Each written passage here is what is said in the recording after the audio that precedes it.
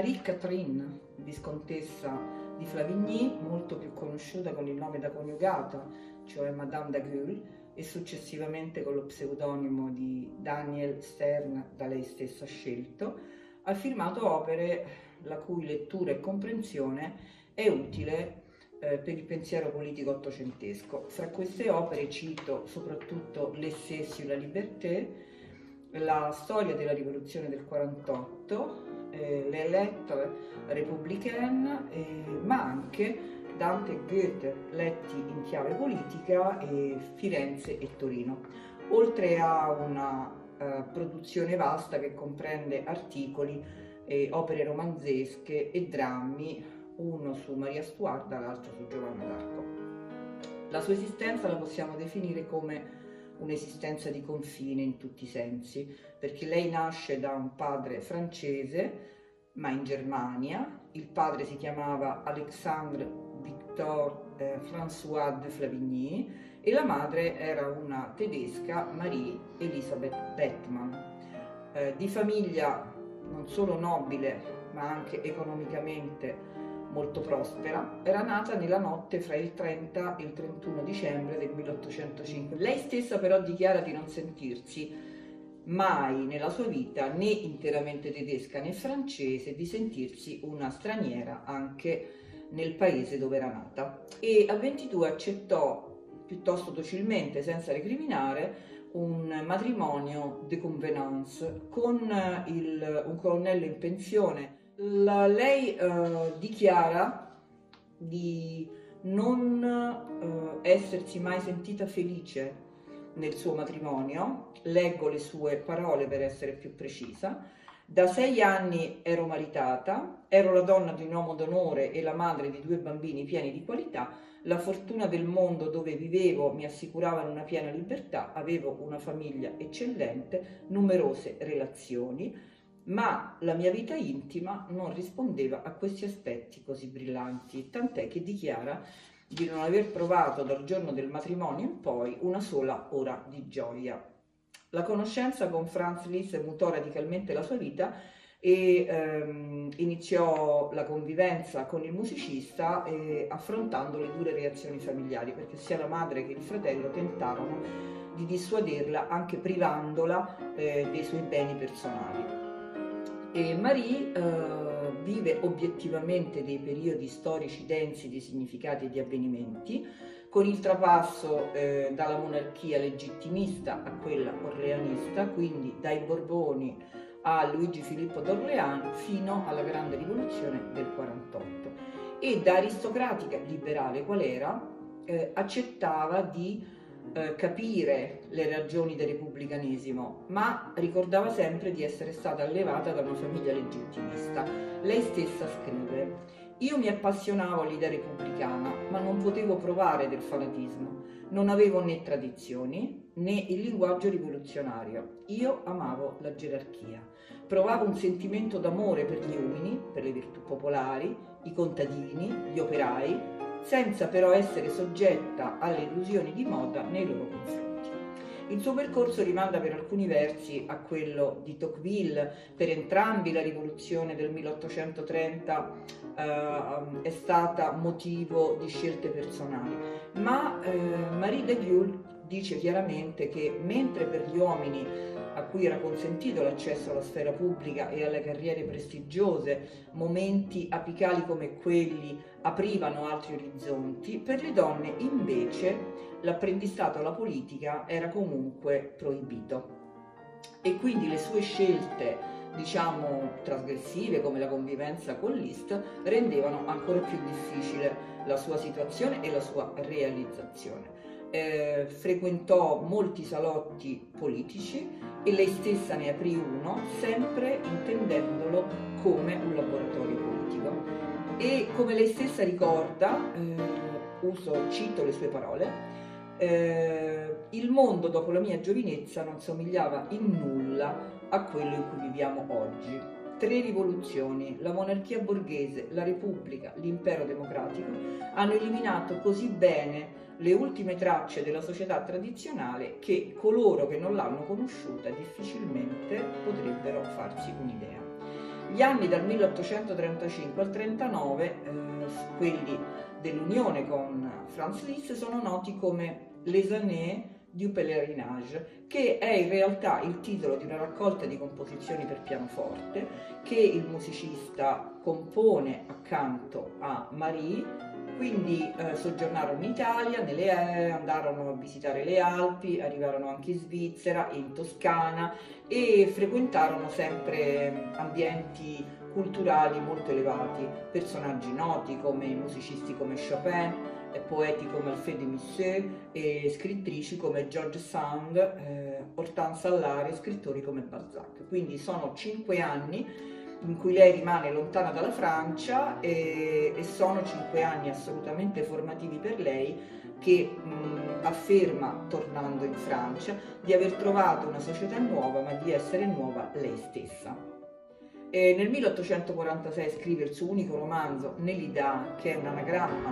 mh, del pseudonimo Daniel che lei stessa sceglie, e l'anno successivo il saggio filosofico-politico L'Essesio e la Liberté, eh, che è decisivo diciamo, per la sua formazione. Eh, quindi il saggio sulla libertà, questo stesso la libertà, è decisamente un'opera molto insolita, originale e profonda, eh, ma anche un tema insolito per una donna perché riflette sui grandi temi della filosofia morale, eh, della politica, della giustizia, delle relazioni fra gli esseri umani. Ed è eh, insolito per una donna perché lei non rivendica in questo libro ehm, i diritti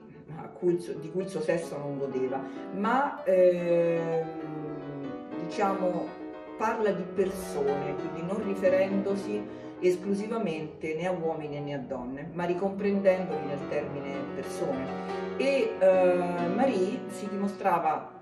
molto convinta dell'efficacia della legge del progresso, eh, della cultura illuministica eh, e anche dei frutti che aveva portato l'89 e riabilitava in un certo senso anche l'Ottocento definendolo Grand Siècle che era in genere l'appellativo che si riservava al Settecento. Centrale nella sua opera rimane sempre e comunque la riflessione sulla libertà di cui godeva l'essere umano, quindi l'uomo, che doveva sottrarsi eh, nel suo cammino di vita a tutte le forze tiranniche, mantenere e accrescere la libertà diventando persona.